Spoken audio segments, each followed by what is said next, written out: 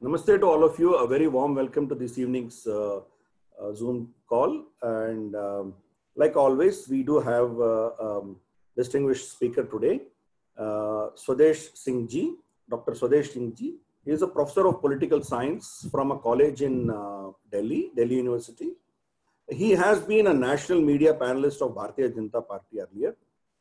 he was with BJYM and youth wing of BJP. Uh, he had worked uh, for several years there.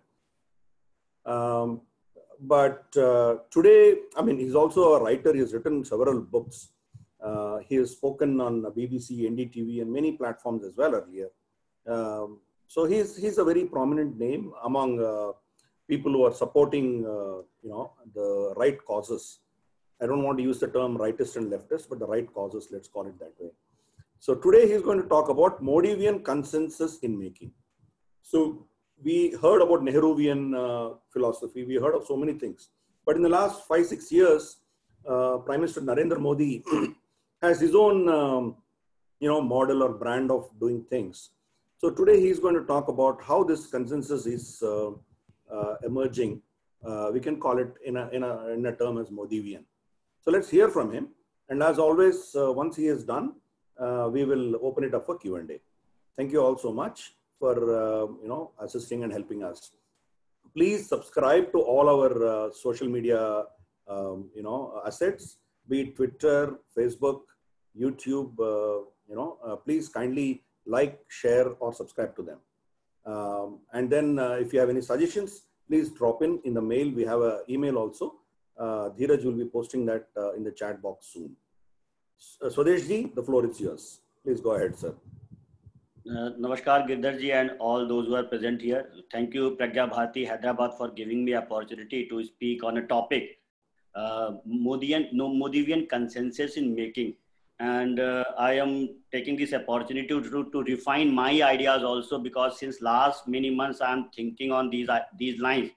And uh, I thought that with this August gathering, my thoughts will only refine because I'm also having many apprehensions whether we should call it Modivian consensus or not. So, but the bottom line is this that a consensus is, is making a, in this country that we are settling with some consensus. There are certain ideas around which everyone should be agree. Whether from BJP or any other party, it's not about just BJP or RSS or Prime Minister Narendra Modi so what exactly the Modivian consensus is? What are those ideas? What is that tripod, three pillars on which Modivian consensus is building up? That I will definitely share a little later. But for that, I want to take you to a journey of ideas, a journey of consensus which took place in last 150 years. And to understand that, we have to trace the roots of other consensus, whether it was really consensus or not, but I'm calling them as consensus. As Girdharji also said, that there was a Nehruvian consensus. So there are four, five kind of consensus which I traced back in the history. First was a national consensus. What was that? I will discuss. Then there was a Gandhian consensus, Nehruvian consensus. Everyone knows that. I will definitely discuss. And there was a phase of instability, and finally a new consensus is building up, which I am calling Modivian consensus. So first, and this Modivian consensus ha is having its roots in the national consensus, which I'm going to discuss. And what is this national consensus? For the first time, when we witness this national consensus. So that is the first and foremost thing. And if we see that uh, if you ask anyone in India, a student of political science or social science, that what is India? So he or she will tell you that okay india is a sovereign socialist democratic republic. But this is the characteristic of indian state. So what is the national identity of india? So if we see what is the national identity of india those who are sitting and having this virtual meeting means i think most of them are agree that we have an ideological tradition and we understand that idea of rashtra that bhadram ikshanti risha that because of the goodwill and general will of the noble, the intelligent, the knowledgeable person of this society, this land, this Rashtra came into being. And this Rashtra exists since time immemorial. This nation, the nearest term is nation, that's why I'm taking uh, this name, this term nation. Otherwise, this Rashtra and nation are altogether different. That another lecture. So we will discuss that at some point in time. But for simplicity, I, I will I will just change the name Rashtra and nation. So this Rashtra means as our Shastra, our Rishi says that Bhadram Vikshanti Rishya, and this Rashtra exists since time immemorial. Even in Vishnu Puran, this term comes that Uttram Samudrasya Himadesh Dakshinam Vashtad Bhartam Nam Bharti. That the land which is in south of Himalayas and north of uh, ocean, and the relationship was also defined that those who are inhabitant, original inhabitant of this land are known as Bhartiya. And they are, the relationship was defined that these inhabitants are the sons and daughters, they are children of this land. Bharti Yatra Santati. So since time immemorial, we, the Bhartis, are very much original inhabitant of this land. And as a Rashtra, we are living on this land. And they, the boundaries were also defined very much. But if I talk about the modern national identity of India, so from where this modern national identity is coming, definitely the roots are definitely lying in these old times. Since time immemorial, this land exists. Our people are existing, and since thousands of years, we are in we are striving for knowledge. This Bharat, this that we are striving for knowledge. That is the meaning of Bharat. But as far as this national identity is concerned, the modern identity is concerned, so we have to look back into the history of last 200 years when Britishers ruled us. And we see that in 1857, what Britishers called it Sipahi Mutiny, and Veer Savarkar, Veer Damodar Savarkar called his first national freedom movement.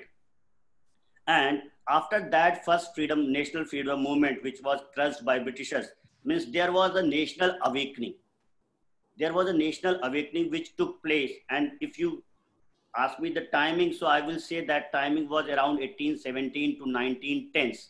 And in this phase, if you see that this, this the great nation, the, the great Rashtra, the Mahan Rashtra, Bharat, again awakened from the lethargy, from the slumber of hundreds of years. When I'm saying the lethargy and slumber, I'm not saying that we accepted the defeat. We never yielded.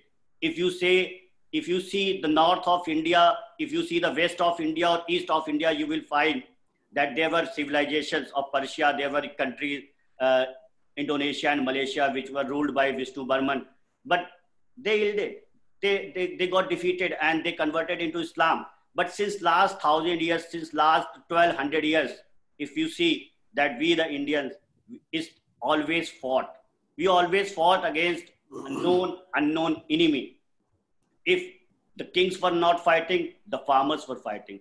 If the emperor was not fighting, our tribes were fighting. In 1833, long before first national freedom movement, Kuka revolution, Kuka, Kuka re- rebellion took place.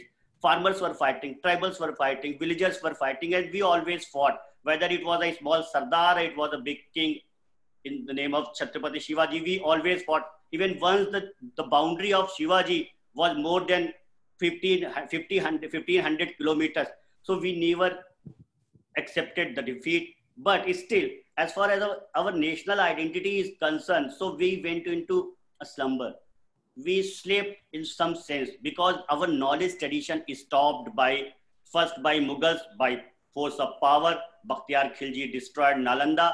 And what Britishers did, that they gave a kind of education which, which gave a sense of unfaithfulness to our civilization, our culture.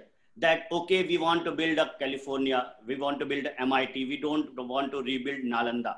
So that national identity was very much there, but, but it, it, it went to the back seat. So from 1857 and especially after 1870, you will see that a spiritual national awakening started taking place and what were the pillars of this spiritual national awakening, this national awakening?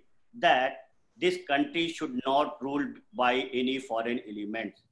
We have our Vedantic philosophy. We have our long tradition. We have tradition of Shankaracharya, Chanakya. And all these things came up because of the efforts of many socio-religious movements led by Swami Ramtirth and Vivekanand in Bengal, then Dayanand in Punjab, and there were so many, so many, so many people in different part of the country And because of this national awakening, we saw that even the common man of the society, they also woke up. And there were reverberation in society. And Britishers also realized that. So from 1870 to 1910s, I'm calling that a national consensus built up this in, in this country that now is the time that the foreign invaders should go out and this country should be free. So whether it's it, these people were liberals in Congress, so whether Gopal Gokhale or Ranade or uh, Firoz Shah Mehta, they were also having same view but with, in a mild, milder way. Then extremist element of Congress party, Lal Bal Pal, Lala Lajpat Rai or Bal Gangadhar Tilak or Vipin Chandra Pal, if you see, they were also doing the same thing. Even they also made Congress party as a mass movement, at least on in urban centers. So if you see the symbols, any any movement is based on some ideological principle, some ideological foundation. So the ideological foundation of Indian national movement, which was later led by Gandhiji, that was that that foundation was laid here. So if we even from the ideological tradition we belong, we always use these terms, which you can find the origin between this phase of 1870 to 1910s. You will never use a term of 1940s or 1950s or 1930s. Let me take some Anand Math. What is the timing? Vande Mataram. What is the timing of Arya Samaj, Sannyasi movement, Swadeshi, Anushilan Samiti, Vivekanand, Arvindo, Tilak. So many things. Shivaji coronation, Ganesh Utsav, books like Anand as I told you, Ramkrishna Paramhans, Ramkrishna Mission, Vivekanand, Dayanand. So all these people, if you will find the Yogananda Ashram, Bharat, Bharat Sevashram Sangh, so you will find the origin of all these movements, all these people, their, their timing belong to that phase. A national consensus was built up that this country has awakened, this nation has awakened, and we don't want to be ruled by any foreign element. And the core principle of this, this awakening was that this country was a glorious country. This country has a great knowledge tradition. And the Rudyard Kipling, he gave a theory of white man's burden that was busted. That was totally busted by the people of that time. When Swami Vivekananda spoke in 1893, he was just awakening the people back in India that, look, if I can speak from Chicago, then why can't you work in your country for the national awakening. So this is how a national awakening took place in India from 19 from 1870 to 1910, and I'm calling it national consensus that was built in the modern times for the first time. So on the one side, this national con consensus was building up, and you, we know that uh, if you compare Britishers with Mughals, then you will find that okay, if Mughals and Turks were brute, then Britishers were shrewd and they realized that this kind of national awakening is taking place. That's why they came up with Vernacular Act in 1878. If you see, then 1881 they started caste census. Then they partitioned Bengal in 1905. They they helped or they asked Nawab of Dhaka to ask for separate electorate. Muslim League was formed by Nawab of Dhaka in 1906. Separate electorate was given to Muslims in 1909. From where the separate electorate was coming, where was the demand? No demand. We never studied in history that from where the demand was coming, but separate electorate was given. So what Britishers did, they divided, they tried to divide India on four fault lines. I'm not saying that differences were not there. Differences were very much there, but they widened these differences. They politicized these differences. What was these fault lines? First was caste. They started caste, census and started giving some preferential treatment to some communities. Second was religion, Hindu, Muslim, and all that separate elected Muslim League, Bengal partition, East Bengal was Muslim majority, West Bengal was Hindu majority, and all that. Then Aryan Dravid race, they theorize this again and again that there are two races, Aryans and Dravids, and language. So they start, they formed many groups. They supported one group. They didn't support another group. And this is how they started some kind of politics with these kind of identities. And the, the, they, he, they propped up these identities. If you see that in 1990 only, the non-Brahmin movement Justice Party was formed by MC Raja. And Ambedkar also came into picture in this phase only by 1916.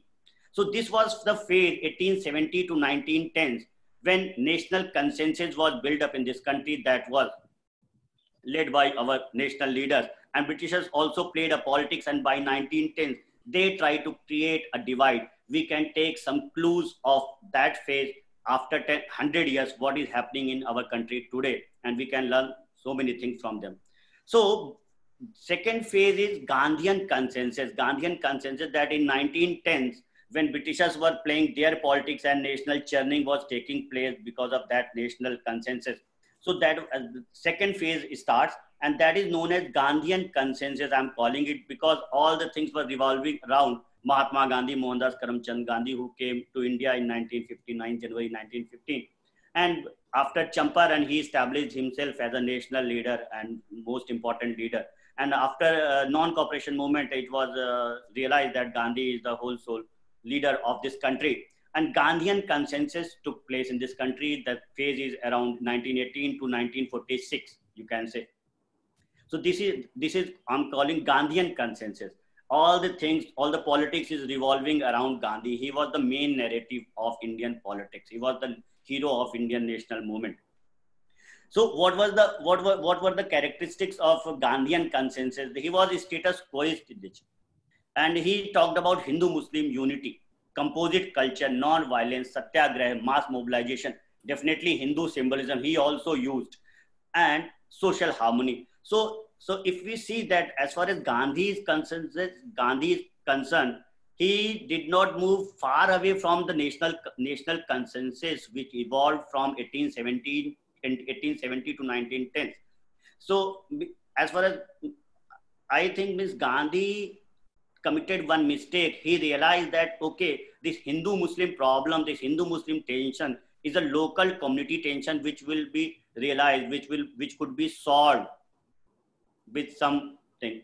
So here I think he was at fault, and that's why he supported Khilafat movement. And I think that was the first instance of appeasement politics in India in 1919 when he supported Khilafat movement and uh, otherwise he also realized that okay that eh, there was a national consensus there was a national awakening. And uh, the cultural rootedness was the core principle of that national awakening the hindu symbols that if you see the gandhi always talked about raghupati raghav raja ram mm, vaishnav tradition ram rajya. He himself denounced the material life and established himself as a yogi. And and that was very much clear from his clothes so he, he departed from uh, this, that national consensus, but little bit as far as Hindu-Muslim unity is concerned, uh, concerned.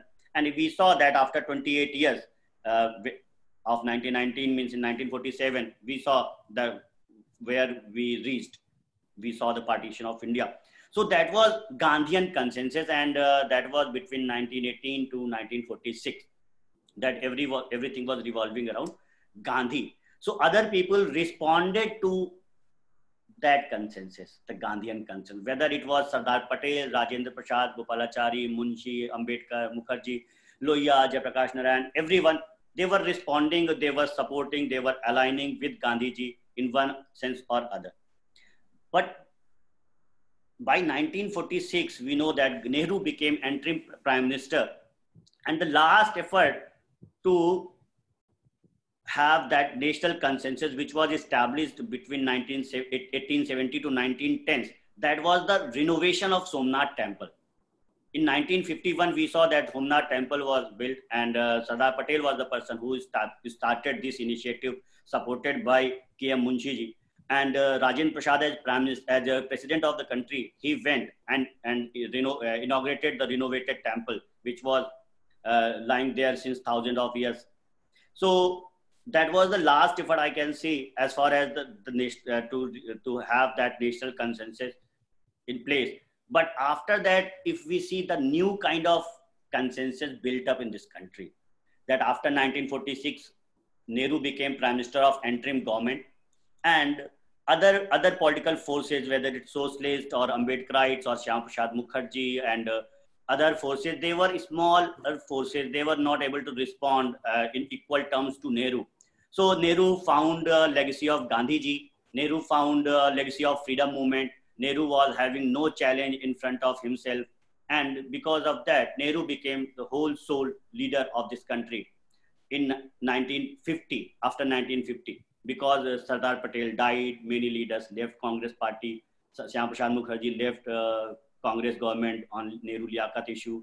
Then uh, Ambedkar also left on Hindu code bill. So there was no challenge inside cabinet. Otherwise, they were not, they, they were as bitter as Nehru as far as intellectual things or other side of politics were concerned. So that's why if you see, so there were, there were two phases of national consensus from 1817 to 1910s and another was 1920 to 19, 1918 to 1946.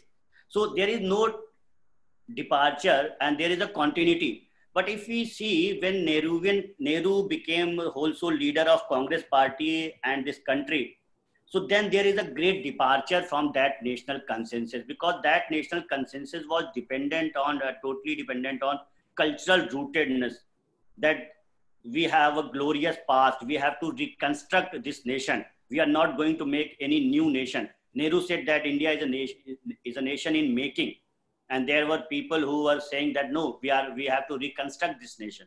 So there was a great departure from national consensus to nehruvian consensus. So there is a break also i can say. So that that process is stopped. So from 50 1950 to 1990 we can say that uh, there is a there is a, again a consensus which is known as Nehruvian consensus, which is very much talked about, which was very much talked about in, uh, in academic circle also and that was Nehruvian consensus. So Nehruvian consensus means to understand Nehruvian consensus, we have to understand Nehru, what kind of person he was. He never studied in India after class 8. Till class 8, he studied at his house. After class 8, he went to Harrow School. And, and just politics of 14 years, he came back to India in 1915 and he became uh, president of Congress party in 1929. And his father, Motilal Nehru, was the Congress president in 1928 so we can say that he was also a product of dynasty politics. He was the first person whose father was president of Congress party in 1928 and he became president of Congress party in 1929. And, but finally he became prime minister and he ruled this country for 17 years. Then his daughter, she became prime minister of then this country and then his son, uh, her son Rajiv Gandhi became prime minister of this country. So three pillars of Nehruvian consensus, which were continued by Indira Gandhi and Rajiv Gandhi also in some sense, was secular nationalism, mixed economy, and non-alignment. On these three tri- tripod, Nehru tried to build up this country. Definitely, he established many institutions and uh, so many things he did. But these were the these were the things on which Nehru tried to build up this country, this new nation state that state building process started by Nehru was based on three pillars, three uh, that was secularism, mixed economy, and non-alignment. Means now we can we can say that uh, means whether these three things were good or bad or ugly for this country that is that needs another session. But means in my view means uh, we have to start from somewhere else. We cannot rely on some democratic centralism of uh, you know, uh, Soviet Russia or a five-year plan of a communist country from which Nehru was so much inspired. He visited Soviet Russia in 1927, and since then he was very much inspired by Soviet Russia. So, means the to so much dependence on uh, bureaucracy, and uh, just in five first five-year plan, our target was industrialization, uh, agriculture, and second five-year plan again our target changed. That became industrialization. So these kind of things were happening and other narratives were so small to challenge whether it's communist or socialist or RSS, BGS, Bharatiya Janasangh or Dalit movement. They were a smaller movement. They were not able to challenge the supremacy of Nehru. And that also gave enough space to Nehru to do his kind of politics. In all the states, there were Congress government at central level. Congress are having a thumping majority. And that also gave Nehru enough space to apply, to execute his policies and program. Let me give you one example of Nehruvian consensus that what kind of politics was played during that time. That uh, let's take a period of, of 1946 to 1977 and uh, who were the education ministers of this country. India is considered as a land of knowledge and we, we never wanted to become superpower, power, we want to become Vishwaguru and we, we, we are aspiring to become Vishwaguru. And so that's why let's take the example of education department only, HRD ministry, now we call it. So the first education minister of India was Maulana Abul Kalam Azad from 47 to 58. Second was K.L. Shrimali. He was a communist historian for six months. Then Humayun Kabir for three months. Then Muhammad Karim Chagla from 63 to 63 to 66. Then Fakhruddin Ali Ahmad 66 to 67. Then Triguna Sen, VKRV Rao, Siddharth Sankar and finally Nurul Hassan from 72 to 77. So if we see that from 46 to 77, who were our educational minister? Who were our education minister? What were their qualifications? And what kind of ideology they were propagating? Nurul Hassan was not a Congress, he was a communist. Uh, because of having a pact between Indira Gandhi and CPI, he became education minister. Maulana Abul Kalam Azad was born in Arab and uh, he was not able to understand Hindi or English properly. Humayun Kabir used to translate his books and articles. Even India Wins Freedom was translated by Humayun Kabir, and later he also became chairman of ICCR and education minister of this country.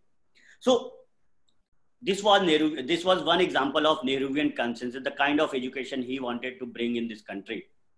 Otherwise, we can we can say that where where are the writings of Jadunath Sarkar, where are the writings of R.C. Majumdar? We saw new kind of historians and of which our undergrad and master's students are reading.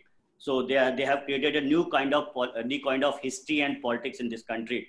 Mixed economy, Hindu rate of growth, Ganga Jamni tehzeeb, Muslim personal law board, appeasement politics socialist pattern of society, licence quota permit Raj centralise centralise system dynasty politics so totally dependent for ideological work on leftists so these kind of the film like Naya Daur Awara where you have showcased India's poverty and Satyajit Ray he also got Academy award for that by showcasing our poverty at international cinema. So these kind of politics was taking place. This kind of Nehruvian consensus was existing in this country when our people were dying and we were leading NAM movement. I don't know why we, we didn't uh, uh, ally with some either with socialist or capitalist lobby for our own benefit. Why he never took put uh, national nation first approach so these kind of questions we should be answered. We should be we should think more upon that. But nehruvian consensus was very much there from 1950 to 1990 so in 1991 we, we saw the withering away of nehruvian consensus. And from 1991 to 2014 we can say that there was a phase of instability. There was a phase of some kind of anarchy you can say from means 89 we saw the daughter of home minister was abducted means we saw the politics of mandir mandal and market we saw four five prime ministers in just, just a phase of six seven years vp singh chandrasekhar Narasimha Rao, Atal Bihari Vajpayee, Deve Gowda, I.K. Gujral. So what kind of politics was taking place in this country? So we saw a new phase where market entered and first pillar of Nehruvian consensus that was demolished. That was mixed economy. Now we were entering a new phase of market economy. Then a national awakening also started taking place because after freedom movement, if we ask that which one is the great, biggest movement, mass movement, that was Ram Temple movement. And that Ram Temple movement was very much rooted in the culture of this country. And the symbolism means if we talk about Ram, millions and millions of people, they, they worship Ram, Lord Rama here and people stood up for that Ram temple movement. So again, that other pillar of secular nationalism that also got demolished. And if we talk about non-alignment, so we can say that that was demolished by her daughter, uh, his daughter only in 1971. But finally, if we see that uh, after the Francis Fukuyama's theory of end of ideology, there was only one Western liberal democratic tradition, and we also followed that system. And by 2000, when Prime Minister Atal Bihari Vajpayee took oath and became Prime Minister, so we can say that uh, Nehruvian consensus was totally withering away. But there was, so on one side, Nehruvian consensus was withering away, but there was no new consensus, no new under, understanding was developed. Even when 2004 to 2014, Congress party ruled. So there was an opportunity for Congress party, the Gandhi family, the fiefdom, that they they were able to establish Nehruvian consensus again. But if we see that they also did not work on that, they did a pact with the US for nuclear nuclear thing. And they also the, the, the champion of economic reform manmohan singh became prime minister. So there was no chance for nehruvian consensus to come again. So by 19 uh, 2014 if we see that when modi enters the national scenario the ground was totally prepared for a new kind of thing. Modi was a manifestation of that thing that a national awakening was taking place since last 20 25 years. A new market centered people centered demand from demand uh, from command economy to demand economy we have entered. And we were also realizing that okay our national interests are supreme not any socialist or communist or capitalist or non-alignment bloc.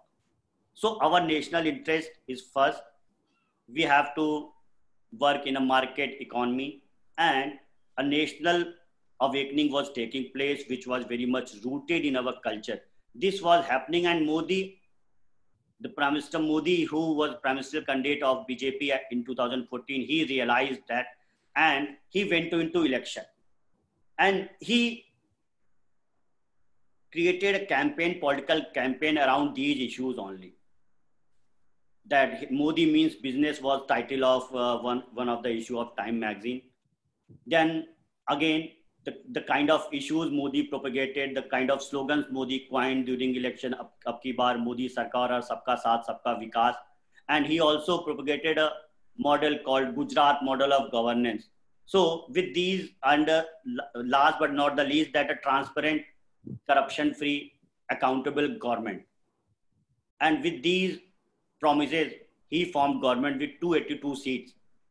So if we see from 2014 to 2019, so what kind of politics Prime Minister Modi did and uh, what kind of consensus is now building up, whether because this is happening because of him or this is happening as, as politics is unfolding in this country. So if we see that the whole politics of Prime Minister Modi can be based on can be categorized into three things. There could be so many things but i am categorizing total politics of prime minister modi into three category. First is first is cultural rootedness. If we see that prime minister modi keep on coming with his cultural identity time to time not only him but he also roped in international leaders we still remember the images of banks of river Ganges, where he and uh, Prime Minister Shinzo Abe of Japan having tripund on his forehead, having sandal on his forehead, and having and doing Ganga Arti. We still remember when he he is coming out of Kedarnath. We still remember when he is coming out of Pashupatinath having Rudraksh Mala.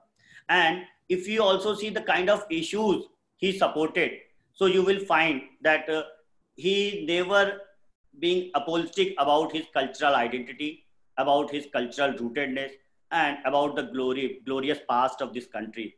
He always mentioned Chanakya or these kind of things. He always mentioned Diwali. Many states are now performing Diwali, Milan, and all these kind of programs. Otherwise, we used to see iftars and other kinds of programs.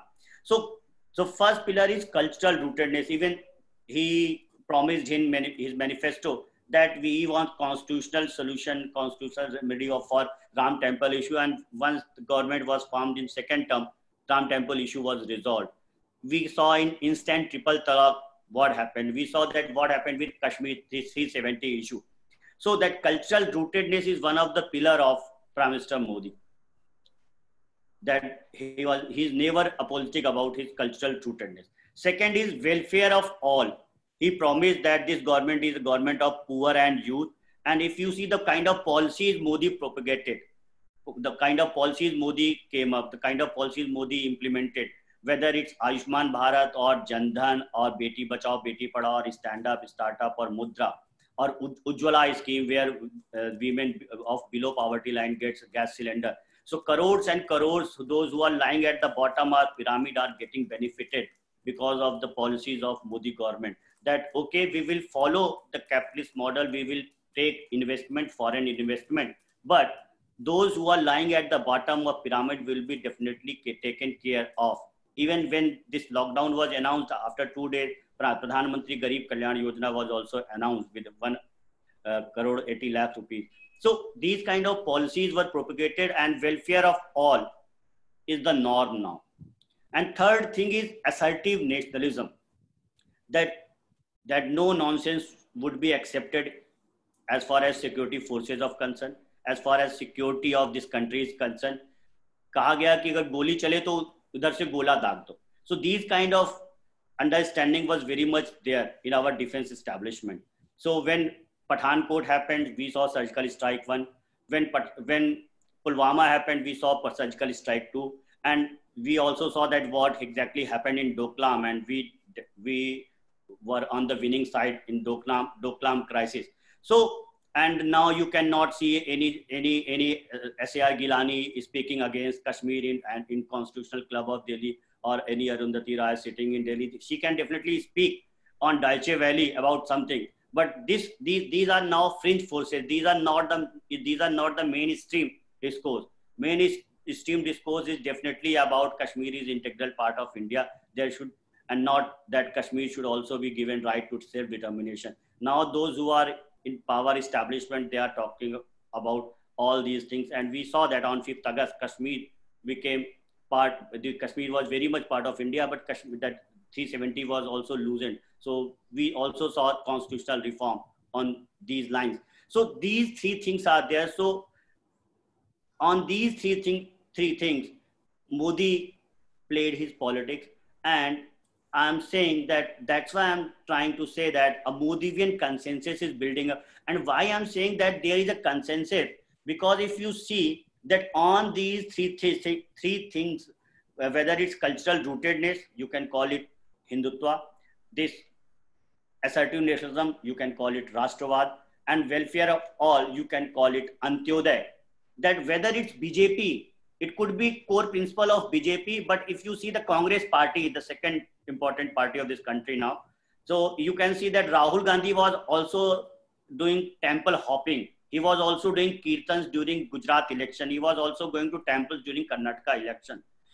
We saw that Arvind Kejriwal in last eh, eh, in last outgoing election in Delhi Assembly election, he was also going to Hanuman Temple in Connaught Place. He was saying that I am also a Rashtrabhakt. I am also want a safe and secure border. And he was also implementing these kind of policies about hospitals or government schools. So he was also following these three core principles. So if we see the politics of Jagan Reddy or if we see the politics of any other regional leaders, we will find that they are not compromising with these three core principles. That's why I'm saying that this is a consensus, a new consensus is building up in this country because not just BJP, but many parties other than BJP's, whether it's Congress or uh, or any any regional party of any state, they are they are following these three core principles because this this consensus was started building up with the effort of Prime Minister Narendra Modi. That's why I'm terming it as Modivian consensus. So in coming time, definitely this idea, uh, this uh, Modivian consensus will face some challenge from different quarters. But we, we don't know what exactly will happen, but uh, today I can say that a consensus, a new consensus is building up. And with the effort of Modi, other leaders are also following that. And that's why I'm terming it Modivian consensus. And uh, thank you very much. Means uh, with this August group, I will try to refine my ideas and uh, I will come up with some new point, points after the, the discussion. So I'm open to questions, comment or query. Thank you. Uh, Swadeshji, uh, thank you so much for your uh, wonderful talk. Uh, you try to look at it from a holistic view. Uh, that is really commendable. Um, just a few things. I think um, one thing what I figured out in Modiji's for six years term that I have I have watched him uh, he has moved from entitlement or what do you say um, right you know it's my right. Question of entitlement uh, to a regime of uh, responsibility right? So you you talk in terms of uh, ujjwala scheme where uh, you surrender your uh, benefits or you talk about uh, you know Jandhan accounts uh, sorry uh, uh, shochalay or anything including the uh, lockdown that he has started. He has started in terms of public participation right it's more about the social responsibility rather than entitlement i think that is significantly moved all the previous prime ministers spoke about what is our entitlement, what are our rights. Whereas Modi ji started talking about the uh, social responsibility and individual responsibility. That is a significant move uh, we see uh, in the last six years, right? Most of the things that he has done, he has made the society do it voluntarily, without forcing, without uh, doing anything. That is something which maybe you need to factor somewhere in your uh, the way you look at it. Um, I, I don't see any prime minister uh, ever having spoken about the responsibility of the people. Maybe in wartime, Lal Bahadur Shastri said you'll have to sacrifice, or Indira Gandhi said something in a wartime. But in the uh, peace time, nobody has really spoken about the responsibility of the society. Only Modi ji did that. That's probably, maybe that's my small take on that. Uh, how do you see this emerging from here on? Yeah, five, five, six years you saw that. But going forward, how do you see this? Sir, if you means as far as these three tripods are concerned, I think this will continue. Means as far as these three these three pillars are concerned, this cultural rootedness means a large section of this society, as you are saying that social responsibility, public participation, the society has awakened. They are now trying to understand their cultural rootedness. They are responding.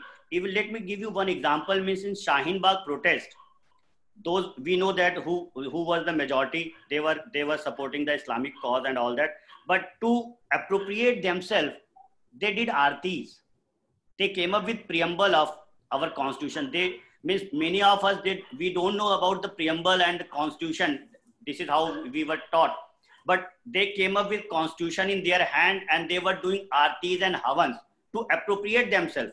Otherwise we know that what exactly happens with these kind of protests in this country. And let and you also you can we can also take example that on 5th april when prime minister said that come out for five minutes as you also said that public participation that the beauty was that people came out in large numbers in their balconies on the roads with tensiles with with with clapping. So this kind of appeal and this kind of understanding now our society is having and they are, are really understanding that our border should be secured. There should be no nonsense on border issue. Our cultural rootedness should not be become any matter of comedy. And welfare of all should be the bottom line of any government. If any government is not doing welfare of the people lying at the bottom of pyramid they will be thrown away. So these three things are happening. Even the world is understanding. This is not just a exception that today a great actor uh, yesterday irfan khan died and and he was a muslim. And paulo coelho he is a renowned novelist. He's a christian sitting in brazil and he is quoting gita. Paulo coelho to give his tribute for film actor irfan khan is quoting Srimad Bhagavad Gita. This is not just a simple thing for a country like India. So these things are, these in coming years, I think more and more awakening will happen and this country will rise up and will move forward from here. Sir. Sure. Um, and also, maybe you want to talk about the flip side. You know, each of these consensus had their challenges, right? The national consensus of 1870 to 1910 did have some challenges. I mean, Uh, though uh, largely it was uh, uh, building up the consensus, it did have challenges of internal dissension. Definitely. Yeah, yes. Yeah. Similarly, the Gandhian uh, consensus, as you said, ended up with Muslim appeasement, right? Yes. And Nehruvian consensus, the way he looked at it, you know, we, we all know what all it ended up us with.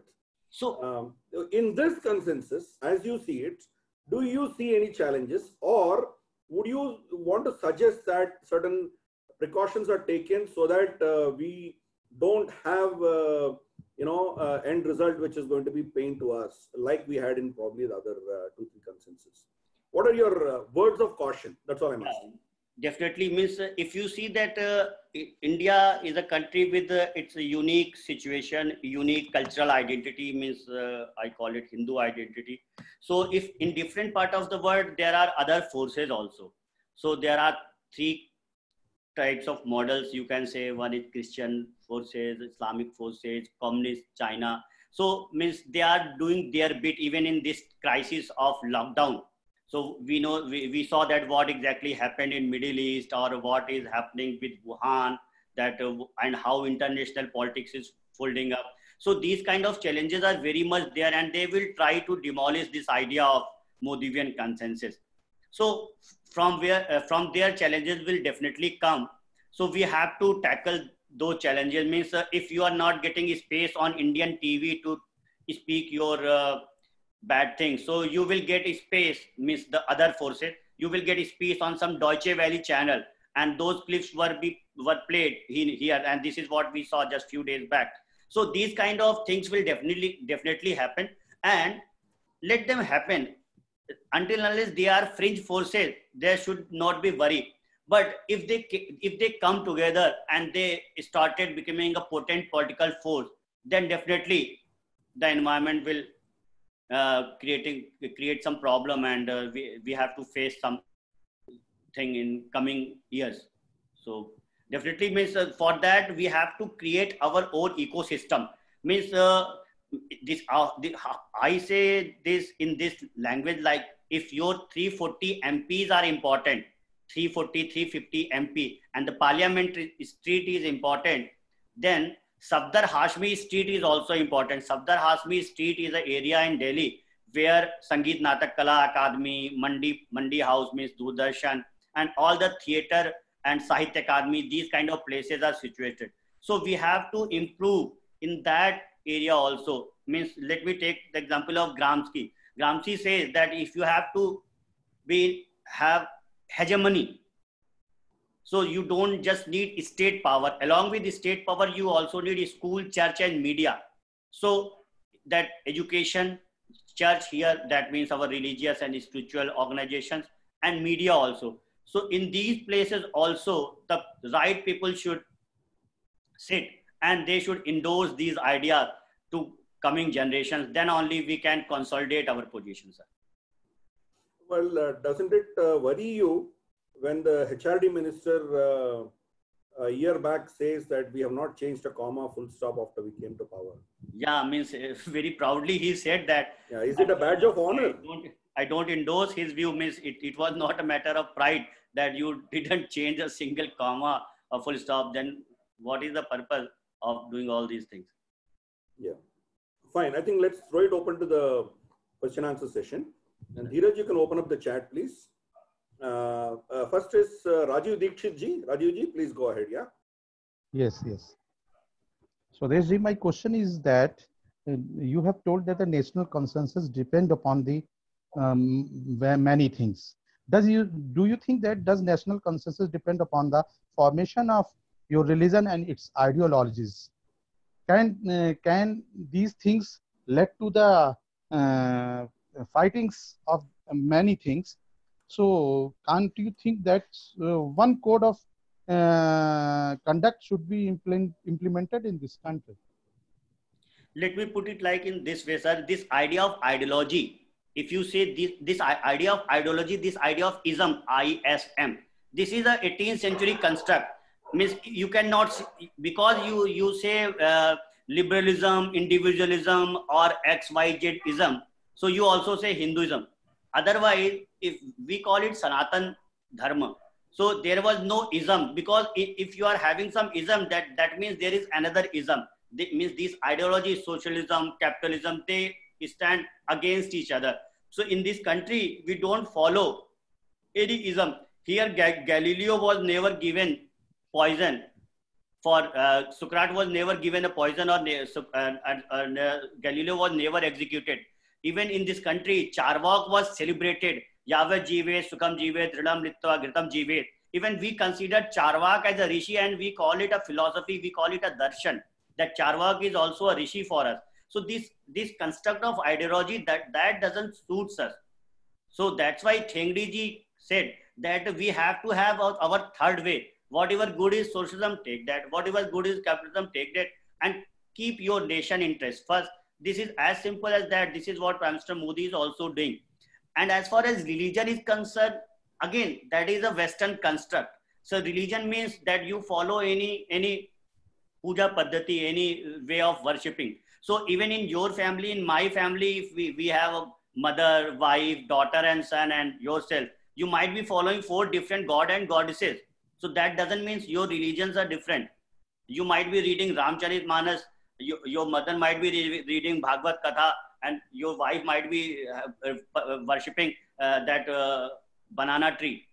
This is very much possible, sir. So these all things are Western construct, construct which we are following. Whenever we see our culture, our religion, our Rashtra from a Western prism, so we will always at fault. We really realize that, okay, India was never a state. State itself, state, Western state, the nation state, that came into existence, existence in 1648 only, after the Treaty of Westphalia. Where were these people 2000 years back when Chanakya was uh, writing Arthashastra or Lord Krishna was giving uh, the, the, the, that darshan? So they were not there, but they are questioning us means we used to say in this language that Kalidas was Shakespeare of India. The period of Kalidas is 4th century and Shakespeare happened in 16th century. So Shakespeare was Kalidas of India, of, of England. Kalidas was not, Kalidas is, Kalidas is not Shakespeare of India.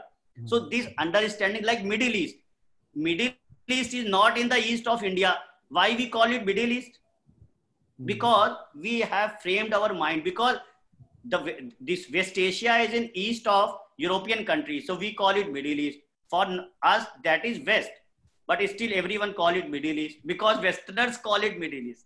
So we have to come out of this colonization of our mind. So then only, so decolonizing mind. Cornel West has written a very good book. So we have to read. We should read that, and then we have to come up. We have to uh, come up with as Girdharji was asking that we have to construct our own terms, our own terminology, our own ecosystem.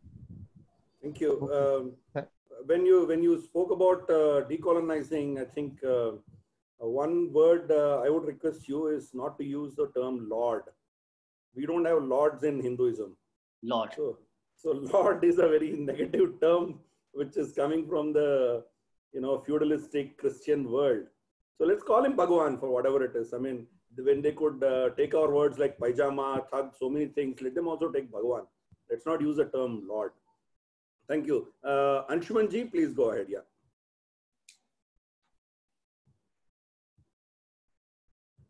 Anshuman ji, you have muted your own. Ah, yeah, yeah, that's fine. Okay. Please go ahead. Yeah.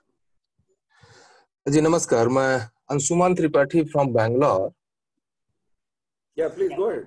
Yeah. So as, as professor mentioned uh, about this Khilafat Andolan, and that was the first uh, Muslim appeasement activity in the recent past, we can say.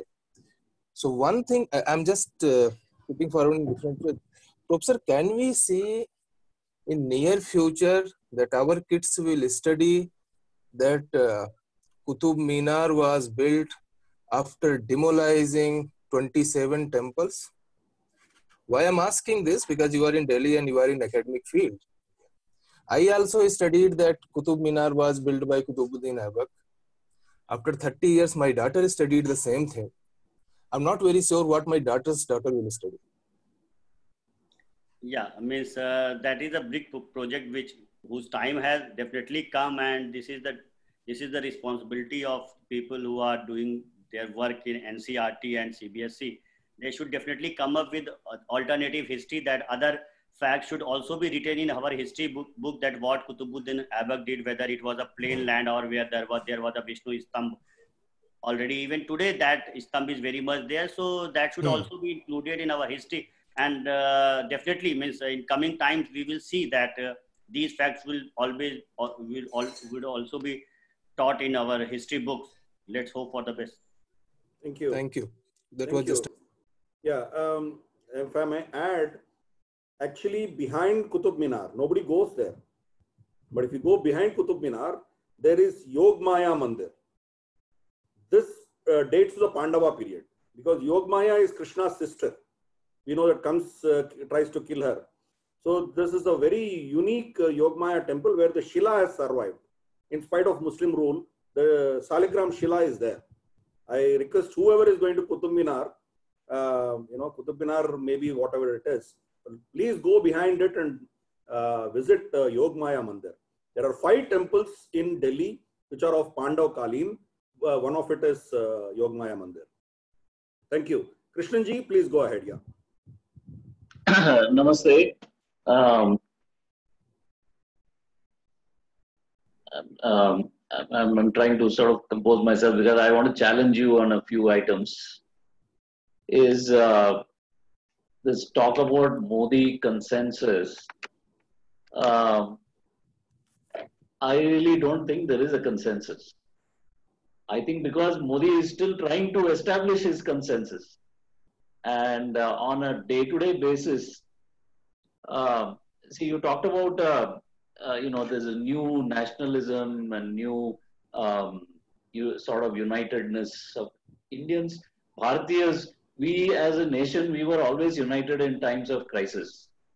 Okay, and we were not yeah, in terms where when when things were good, we were all you know separate and fighting with each other. But but really, when when it was required, we were also. So I'm not sure that there is this this huge sense of uh, uh, you know national consensus that are are I think, but I think that there is there is this underpinning wave of anger and and a feeling of letdown among the Hindus who are BJP and Modi's core base, in spite of all the Vishwas circus that happened.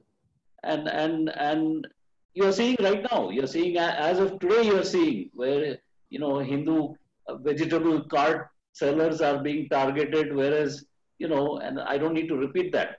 So, how do you see what Modi is doing in terms of establishing his consensus? You, do you feel that Modi is confident as to what he is doing, or whether he's afraid of uh, provoking um, uh, the other forces? Uh, you know, taking one step forward and two steps back. You know, in in in in, terms of uh, um, uh, you know, trying to he- very hesitatingly trying to establish his consensus.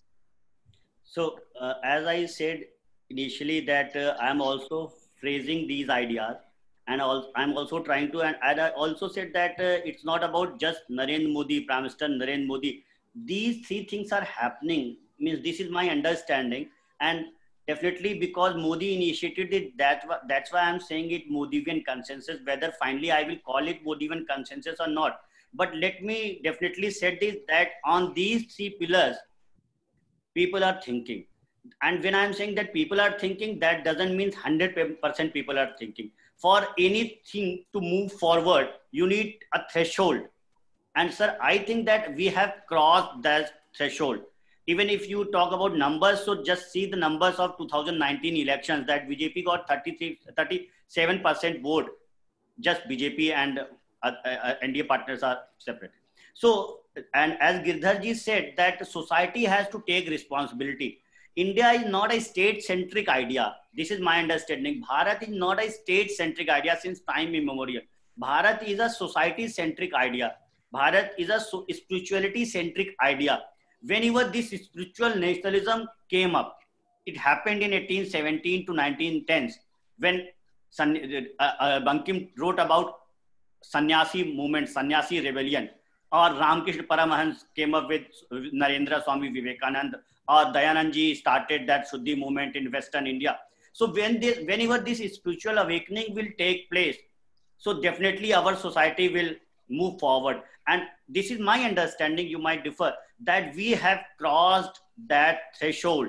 These Tablighis or Arundhati Roy or separatist movement these are on the back seat now. We are the main discourse of this country. They have to respond to our issues. We will not respond to their issues. Yogi curbed Tablighi. Bengal people are, Bengal state is not giving us data. So, but finally, if you will see that on 5th April for five minutes or 9th April for nine minutes, people came out. Even, even then on Twitter, many people wrote, wall the bullshit. But still, the majority, the numbers, the threshold we have crossed. This is what I understand. And you, for anything, you need just, you need to just cross threshold. And we have crossed that threshold. That would, that is either Aam Party government or any Congress government. Means Madhya Pradesh Congress government, when Kamal Nath was CM, they opened, they ordered their district magistrate that open shelter house for cows. Can you imagine from Congress party of recent past of 20 years. I'm not talking about Congress party of 1950s and 60s. Congress party under Sonia Gandhi, state government was ordering on these lines. So, so that's why I'm thinking that a consensus is building up because Modi initiated it. That's why I'm calling it Modivian consensus. And we have crossed that threshold from where there is no, there would be no coming back. I'm so optimistic. I can say means let's hope for the best. Thank you. Thank you. Uh, next is uh, uh, Srinivas ji, Srinivas Tatipalli. Yeah. Uh, namaste. Uh, namaste, Swadesh. Uh, so you were mentioning that cultural rootedness, uh, like Jagan Reddy is following, uh, Kejriwal is going to temples, and uh, uh, Rahul Gandhi is going to temples. But this is all, I think, opportunistic. Once they come to power, Jagan Reddy is showing the true colors. And uh, I think Kejriwal is also showing the true color. They are all, they have done all these gimmicks to come to power. And they have fooled the Hindus, I feel. But after coming again, now they have forgotten all that. Do you, uh, am I right? Just I want to understand this. Uh, definitely means they means un- whether whether under pressure or under compulsion they are doing that but they cannot do the same thing means sir. I don't know what's your age is but in my childhood childhood days or even my graduation day i used to see that every day all the political leaders because these are the times of lockdown. But if you see that in last 5 6 years have you seen any senior leader of any any party uh, organizing iftar parties? No. So definitely for numbers, because uh, there there are Muslims, they also want to take their votes. And uh, but the thing is that now they have also realized that uh, as I said earlier, that uh, this threshold we have crossed with 37, 40 percent. So the the 15 percent population of this country, let me say clearly, the Muslim population, they cannot veto. We have came out of that phase so even today, there are there are no Muslim MP from BJP from Lok Sabha, but still we got 03 seats. So these kind of politics will roll up, and that um, Girdharji, that's why put a question mark that from where we face challenges because they will definitely pose challenges to us. Yesterday, the Minority Commission Chief of Delhi said, I, "You must have seen that statement." So, and you know, Arvind Kejriwal, he never visited Shaheen Bagh and uh, I also miss, I don't know, but I also got information from uh, Telangana, uh, Hyderabad, that uh, uh, Jagan Reddy is also entertaining the kind of people which he, he, was not supposed to entertain in his kind of politics because of his advisor Prashant Kishore. He is doing so many things. So in coming days, we will see many unfoldment, which will definitely favor the cultural rootedness or the politics of Hindutva of this country. Okay, sure. Um, uh, next is Ram Mohan ji. Please go ahead, sir.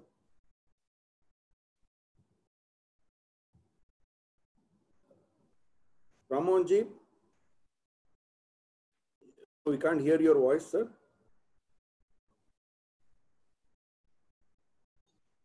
No, we can't hear your voice. Okay, we'll come back to you, sir. I think there is some problem with this uh, this thing. Uh, next is Sudhanshu Hindi में लिखा है I don't sir that's siddharth ghosh. Oh siddharth ghosh okay. Sorry. Yeah. Couldn't read it. Uh, sir, too small a print yeah. Okay. There is one question i would like to ask sir. Like uh, when we hear about how Nehru established himself and his school of thought, one thing which we realize it is very important is monopoly over the flow of information. It's very crucial to develop a school of thought.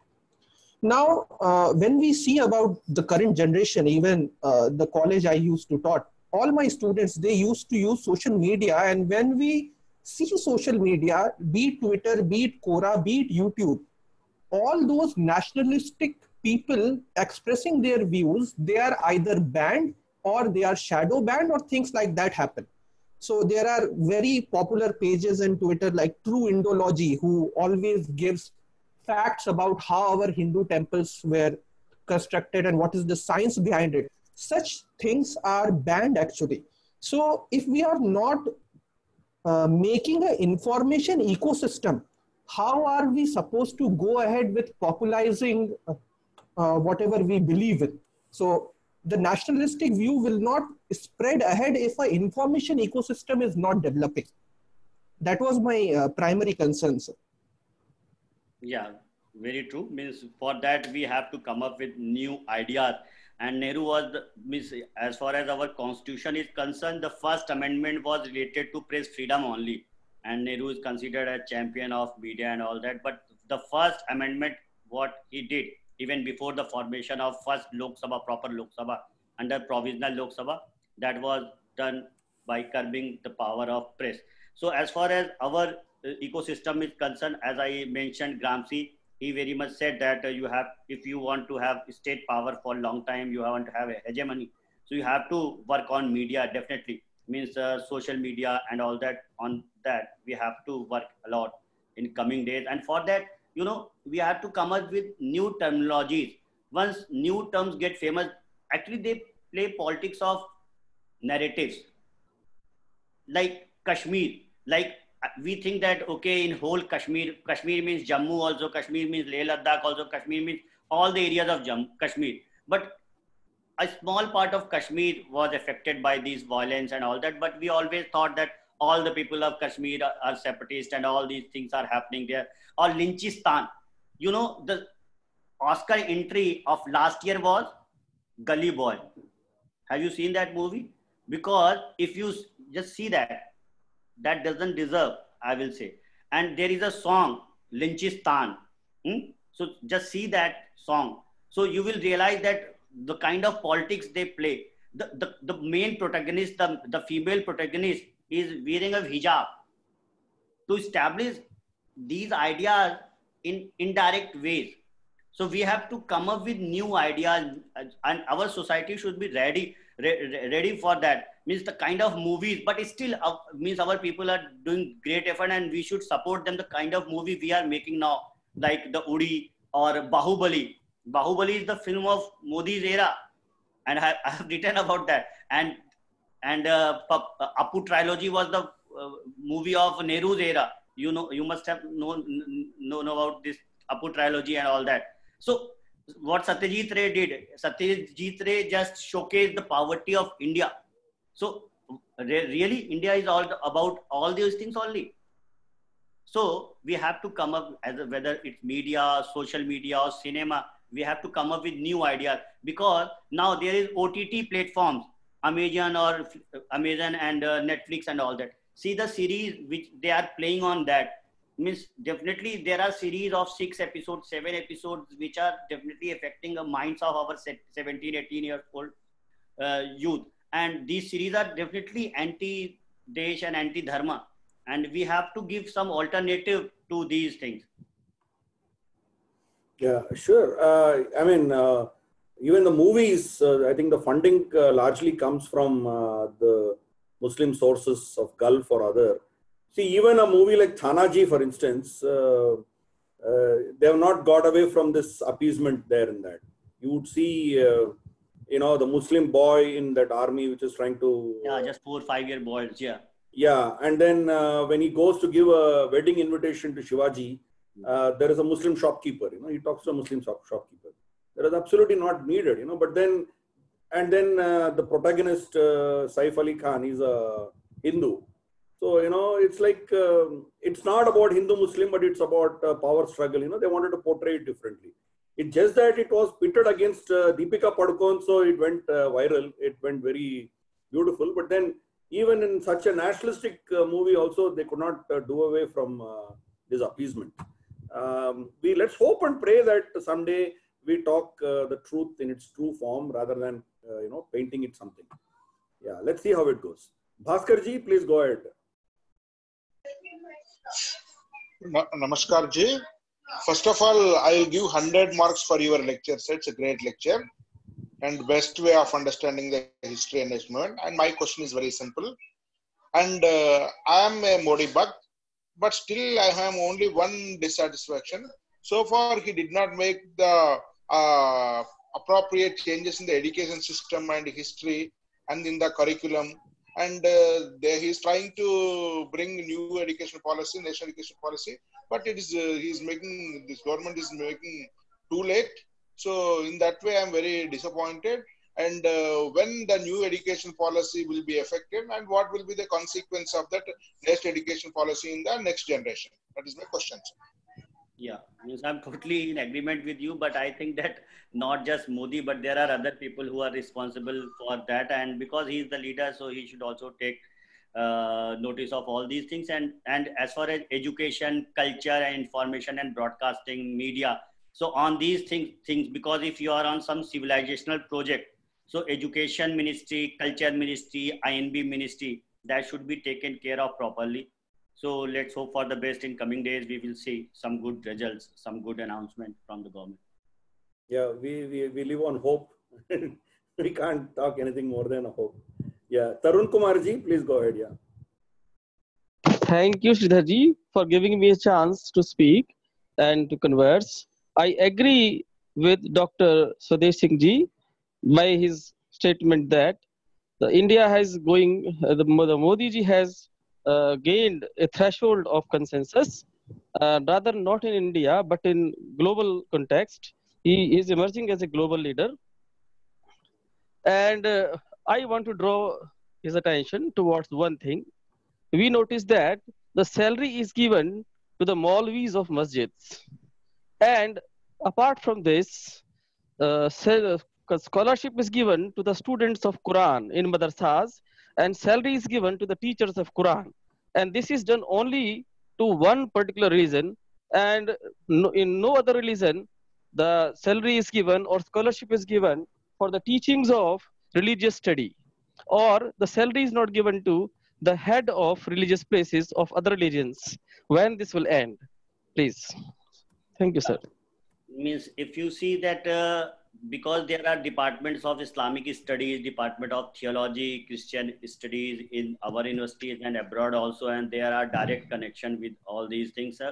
So this is happening since last, uh, last 70 years because under Article 25, 26, 27, 28, 29, and 30 means there, there is, there, we have issues about minority rights. So even the problem with minority rights is that that it has been reduced to protection of minority rights, and from protection of minority rights, it has reduced to appeasement of Muslims. Minority Muslim protection is converted into appeasement. That is the problem we are facing. Otherwise, uh, the cultural and educational rights for minority deals with minorities, not just Muslims, other minorities also, and linguistic minorities also. But because of the governments of uh, last 70 years, this kind of discourse is going on.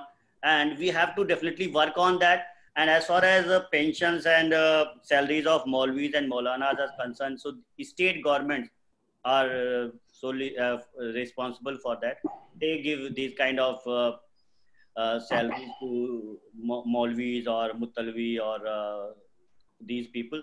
So where there are different government, they have to reconsider whether in a secular state these kind of salaries or uh, remuneration should be given to these kind of religious teachers or not. So definitely a time has come and these, these kind of debates should be started from the society side only. Thank you, sir. Thank you. Uh, actually, what, what happens is uh, they're equating the fact that uh, the temple priests are getting salary uh, from the government. So why not give to these people? That is the logic they give. But in reality, the temple priests are getting salary from the endowments department. and endowments department is under the government control. The problem is uh, either the Waqf board or the church is not under the government control. So actually the salaries for the uh, archakas or the priests, Hindu priests is not going from government. It is going from Hindu contributions only. Whereas the money that is going from uh, government to Maulvis or uh, the pastors is going from a taxpayer's money. But that needs to be challenged in courts of law and uh, you know a serious fight has to be taken. This is the bigger canvas. We have a problem. I agree with you. Uh, Murthy Garu, uh, J- J.S. Murthy Garu from Vizag. Murthy Garu, please ask. Hello, Yes, sir. am I, am I audible? Yes, sir. Okay. Swadesh ji, I'm very happy. We have several intellectuals like this. We are discussing ourselves. But I have, as you said, to bring in a cultural concerns about, about political affiliations. The simplest way is instead of talking Hindutva, Hindutva, as Gurumurthy said it long time, he is actually practicing. There are several, every village has got a village devata. And they do at least once or twice a beautiful gathering meeting, at least thousands, hundreds, thousands, even somewhere lakhs also. So we just have to give them a tap, talk to them, encourage them to continue and slowly put into their thought process. This is our real tradition. Please keep it up because we distanced them away thinking that is all blind belief. And we are Upanishadic or something thought philosophers we are the superior supermost and we destroyed our own society. This is the best way it will go across the and above the party lines. This we have to try every one of us we are about 100 here in this group wherever it is possible in our village or there or if you have some students or friends tell them to encourage this and this is the way and then it will say you call it Modi Modivian or something or Ram Sri Ramian or whatever. We, we can give some name that's it okay. But we have to save our country from the menace of the so-called religion.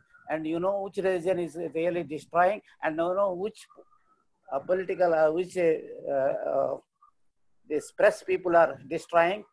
And we know all those forces to counteract them to make them understand. Yesterday, someone was telling the world, so we have Hindus all over the world.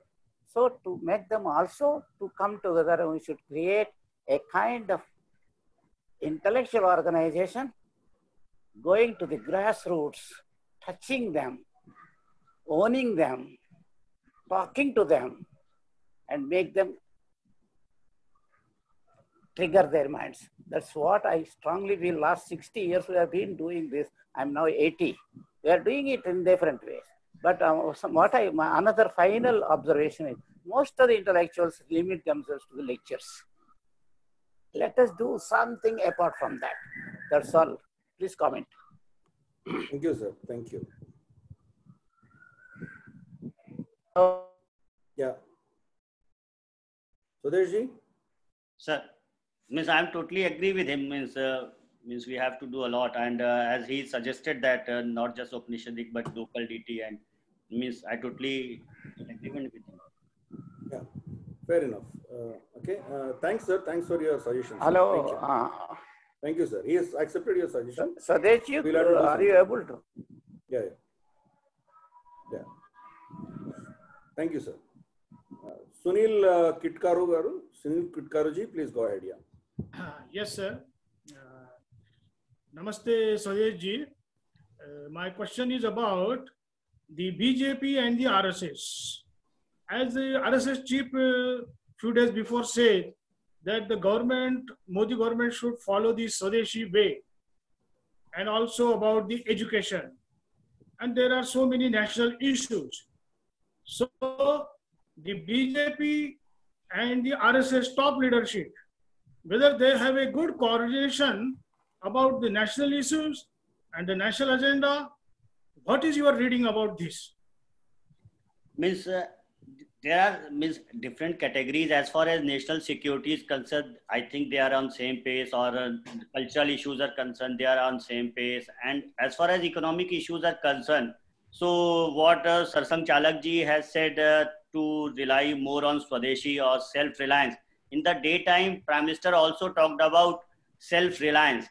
Though, so definitely the definition of Swadeshi is changing uh, slowly. That self-reliance means that our people should be become should become self-reliant. Whether the investment is coming from outside or that should be checked properly. Even if you have read 15 days back or 10 days back, that government has come up with a new new regulation that each and every Chinese investment which is coming directly or indirectly to India that should be reported and that should be that should take clearance from because they are using now because our market has crashed. So chinese companies were buying stakes in many many companies in india. So the government is also trying to curb chinese influence on our economy. And now when chinese companies are going outside uh, in western companies are going outside china.